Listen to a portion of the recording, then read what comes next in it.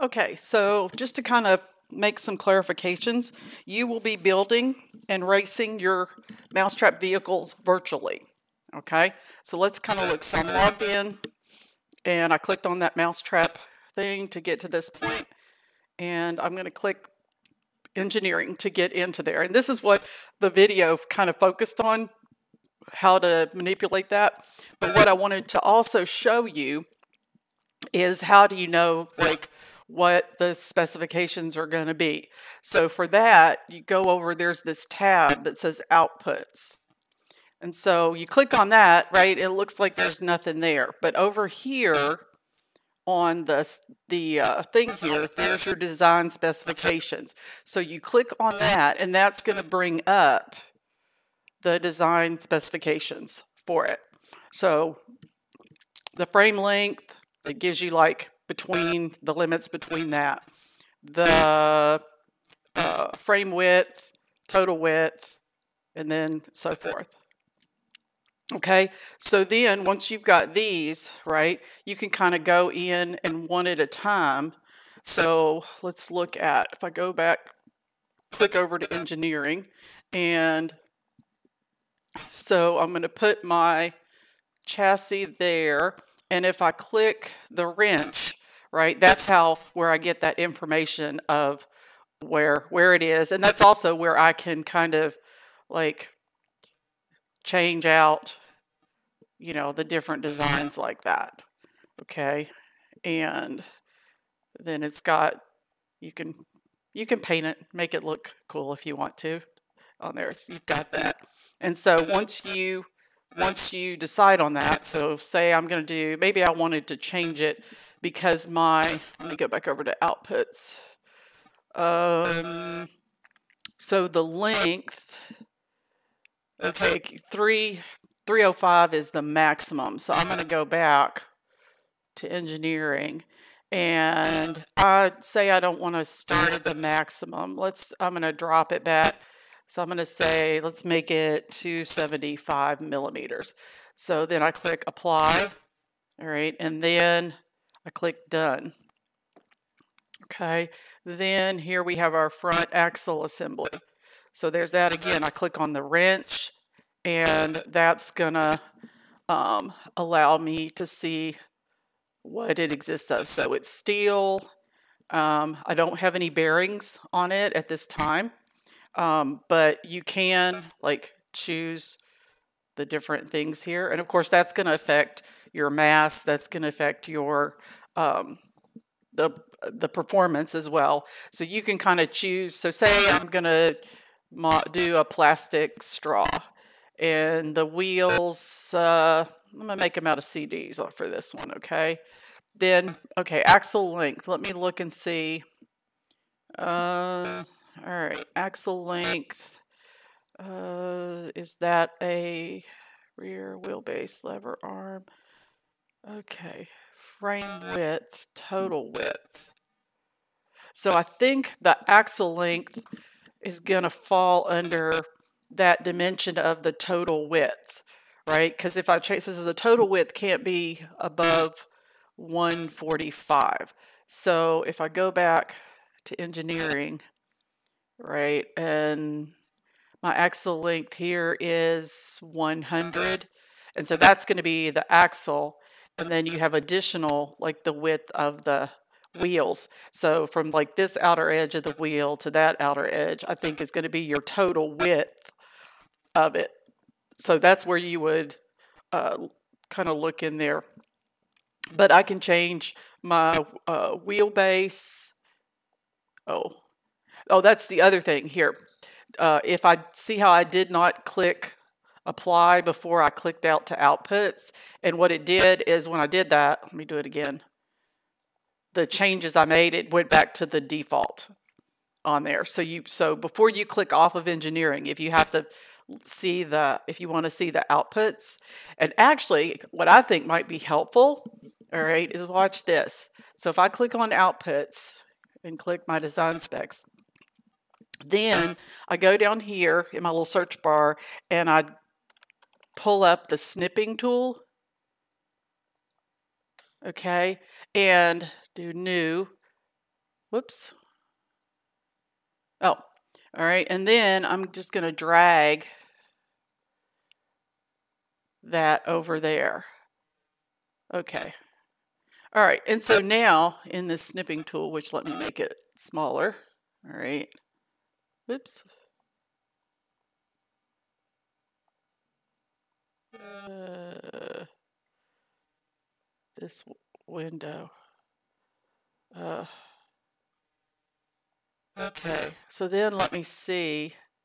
All right, so now if I go back to engineering, I'm just making sure if I click on it, so if I put CDs and then I click down here to pull that up, yeah, see there, that's a way that you can uh, have the specifications there without clicking off of it on there. And that way, if you forget to click apply, it won't, you know, and you want to look at those things. Uh, so, okay, so my CDs, and I'll keep, let's see, what was that? That was uh, total width was 145. Now, here's the other thing.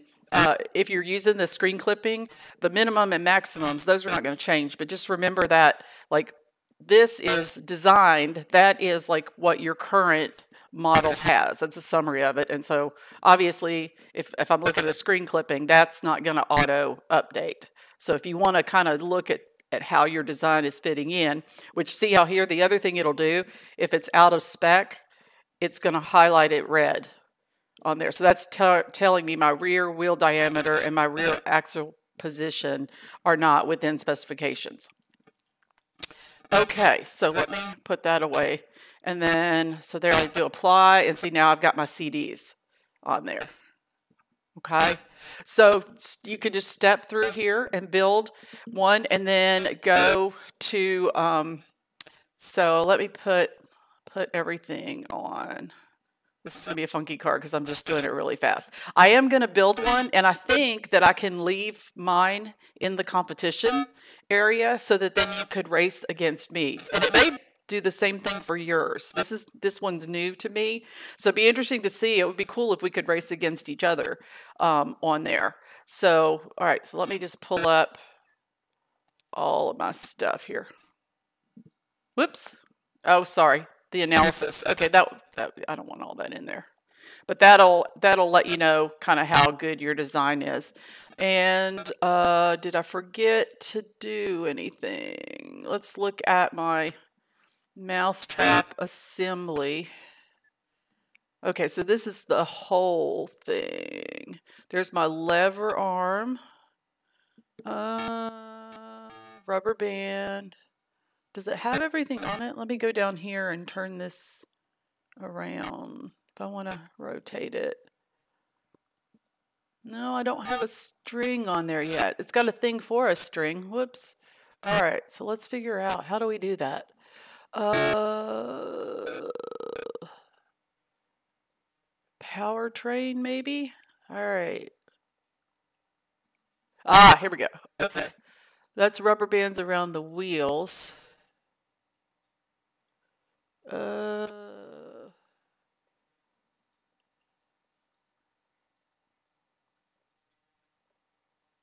lever arm length.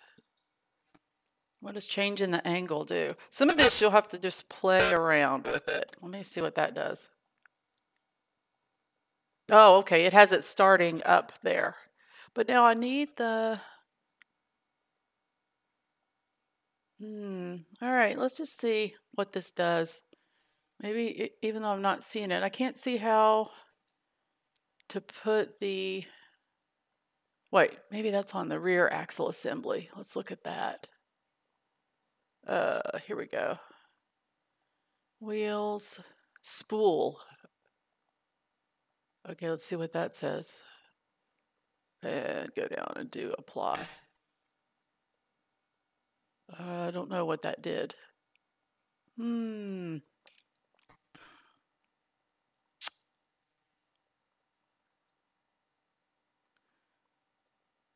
All right.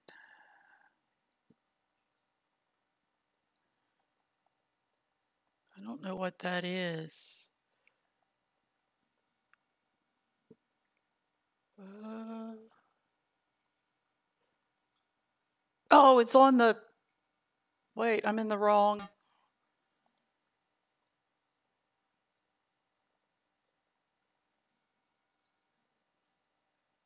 Oh, I put it on the wrong one. Hang on. okay, I don't want this video to be too long, so hang on. Where's the front front axle? Front axle. Okay, here. Uh, vertical wheel, CDs. Oh, oh, oh, I see. Hang on.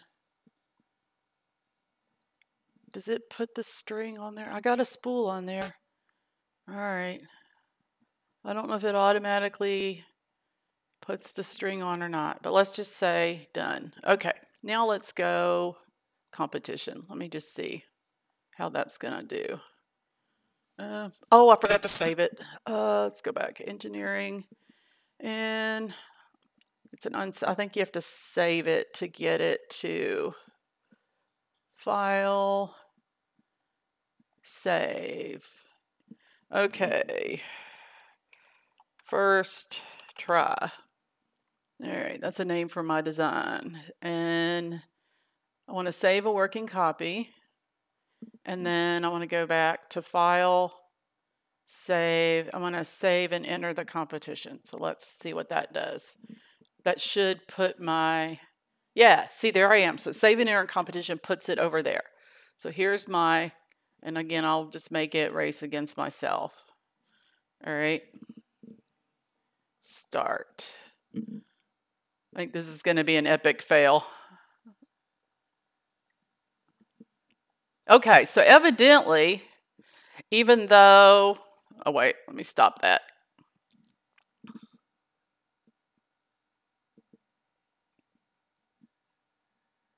Oh, I guess it replays it. Okay, so let's get out of there. All right. So evidently, even though the string is not showing up here, I guess as long as you put that spool on the axle and have your lever arm there, then it will run. So obviously I have a lot of work to do on this design, but anyway, so I would, your goal is to design, get a, virtual design in there, and um, then on Tuesday, hopefully everybody by Tuesday will have a one that will run the course, and then maybe we can race, do some races on there. Um, so hopefully this helped clarify how this whole thing is going to work. And the other thing is there are multiple levels, and so I'm thinking what we're going to do is just sort of uh, have you go through and do as many levels. All, all the le- new level is it's going to have a new set of specifications. And so uh, go through and complete as many levels uh, as you can, and I'll be interacting, and maybe we'll do some online racing or something. So we'll see. It's kind of a learning experience. But all right. So take care. Enjoy this beautiful day and have some fun with this.